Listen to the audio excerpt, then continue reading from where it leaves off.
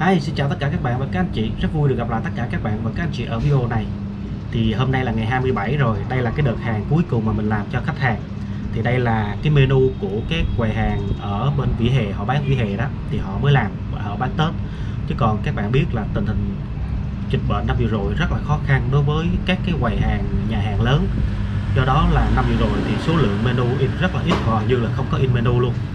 À, à Do là số lượng khách hàng không có ờ, khách du lịch không có, nên tất cả các quầy hàng đó, những cái quán ăn, quán lớn người ta không có tiền đủ thuê mặt bằng người ta không có tiền đủ ờ, trả nhân viên. Nên đó họ đóng cửa rất là nhiều. Do đó là năm vừa rồi là cái ngành ờ, cái dịch vụ mà in menu, thiết kế menu, in menu hầu như là đóng băng luôn. Tuy nhiên thì mình nghĩ năm bước sang năm tân sửu này thì cũng một năm cũng sẽ rất là khó khăn đối với cái ngành dịch vụ photo copy của chúng ta. Tại các bạn biết sao đợt vừa rồi mình có nghe một số cái à, anh mà họ làm bên à, cung cấp linh kiện máy móc và nhập máy về họ bán cho chúng mình. Thì tất cả hiện nay, tất cả các giá linh kiện, máy móc và giá vật tư, kể cả trong đó có cả giá giấy, hiện tại đang tăng và có xu hướng sẽ tăng vào trong năm à, trong trong năm mới này.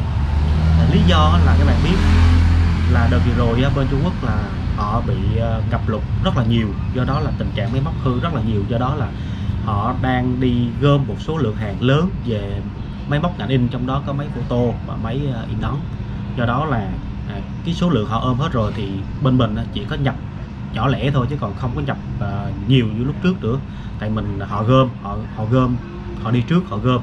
Còn mình khi mà Việt Nam mình qua thì họ mình chỉ đi mua lẻ rồi sau đó họ nhập về thôi. Chứ lại trong cái thời điểm Covid á, thì cái giá uh, vận chuyển nó lại tăng cao. Do đó là các linh kiện là cũng sẽ tăng cao và trong đó có cả mực kể cả mực và linh kiện ô tô. Do đó là mình nghĩ trong năm tới cũng là một năm khó khăn đối với ngành dịch vụ tô của chúng ta ha. Như vậy thì uh, làm sao để mình duy trì được cái cái uh, tiệm của chúng ta?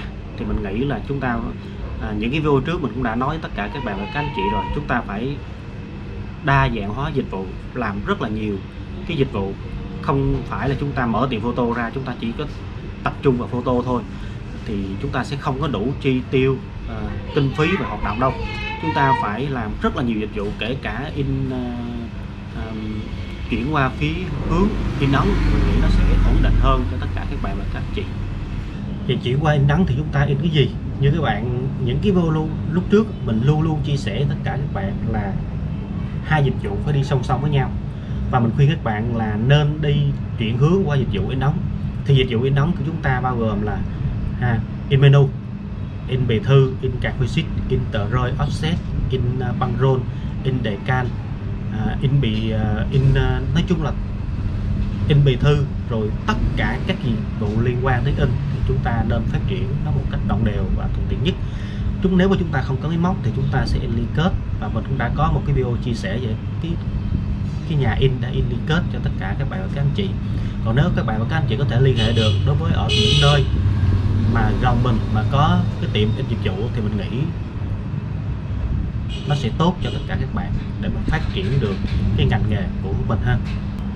Các bạn biết là năm vừa rồi mà để duy trì, để duy trì được à, cái tiệm thì à, mình cũng phải bươn chải rất là nhiều, phải suy nghĩ ra nhiều hướng để mà làm ngoài các cái dịch vụ các bạn biết là mình khi mà mình có cái mình đã biết cái, cái thiết kế rồi mình đã biết thiết kế mình sử dụng thành thạo phần mềm Corel rồi thì tất cả những cái gì để mình làm được kể cả những cái thiết kế những cái ấn phẩm mình cũng nhận mình làm. Thì nếu mà mình không có máy móc mình quăng qua bên à, chỗ nhà Elecus họ sẽ làm hết tất cả cho mình.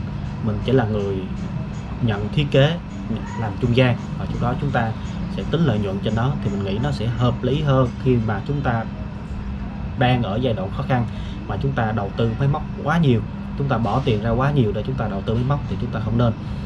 À, các bạn biết năm vừa rồi thì mình cũng à, đang phát triển à, làm bên thêm dịch vụ à, à làm thêm YouTube. Tuy nhiên thì cái đó là chủ yếu là đủ tiền cà phê thôi chia sẻ những cái gì ra những cái gì hay ho những cái gì biết được thì chúng chủ yếu là đủ tiền cà phê để chia sẻ. Thì mình có thêm một cái kênh YouTube là ba đô TV nếu các bạn các anh chị à, có chút thời gian thì các anh chị hãy ghé qua à, bên kênh à, Bado TV để à, đăng ký giúp mình nha. Thì mình sẽ để cái link à, kênh à, YouTube Bado TV à, ở phía dưới để các bạn có thể vào các bạn ủng hộ cái kênh à, à Bado TV của mình. Thì kênh Bado TV là chủ chỉ một cái kênh để à, à, giống như dạng vlog để mà chia sẻ những cái gì nó hay ho ngoài đường thôi. À, các bạn và các anh chị có thể là giải trí được thì hy vọng là tất cả các bạn và các chị yêu quý uh, Bado Official cũng như là yêu quý kênh Bado TV à, hãy ghé qua và ủng hộ kênh Bado giúp mình nha. Thôi chỉ còn 3 ngày nữa là chúng ta đã đón một chào một năm mới rồi. Thì à, Bado Official cũng không có cái gì hơn. Xin chúc tất cả các anh chị và các bạn cùng toàn thể gia đình bước sang năm mới thật là nhiều sức khỏe và gặt hái được nhiều thành công trong năm tới ha. Và bây giờ xin chào và hẹn gặp lại tất cả các bạn ở video sau. Bye bye